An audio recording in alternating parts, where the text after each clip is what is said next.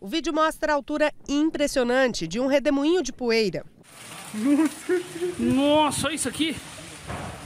Sumiu o campo. Não dá pra ver nem o céu. Ah, ó.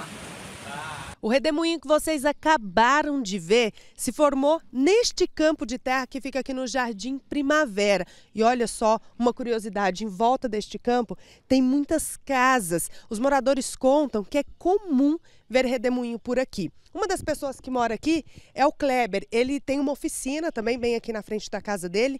Kleber, quando acontece um redemoinho como esse que a gente acabou de ver, é um estrago total, né? É estrago, bastante. A gente limpa direto, tá vendo? Ó, imagina isso aqui dentro da casa dos nossos moradores aqui, até da minha casa. A nossa esposa não aguenta limpar desse jeito todo dia.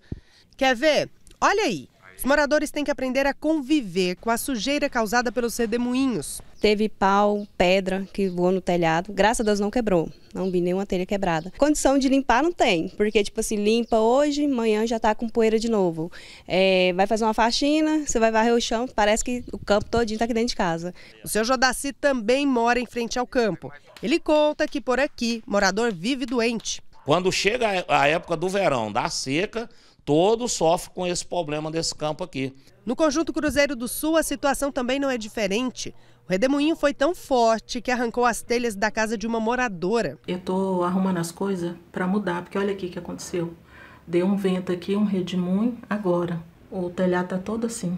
E pelo jeito, os prejuízos estão longe de acabar. A meteorologia explica que os redemoinhos de terra são comuns nesta época do ano porque o tempo está seco demais sem falar no calorão intenso e na falta de chuva. Nós tivemos redução de chuva em março e abril, e com isso é, nós tivemos aí propiciando aí mais vegetação, que, auxilia, que acaba com essa questão das queimadas, né, tendo um aumento no número das queimadas, mas a questão da terra.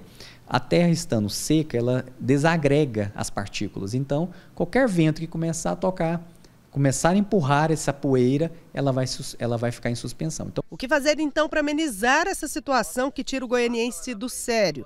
Como no caso do campo de terra do Jardim Primavera, que mostramos no começo da reportagem. A situação para melhora efetiva ali é plantar grama.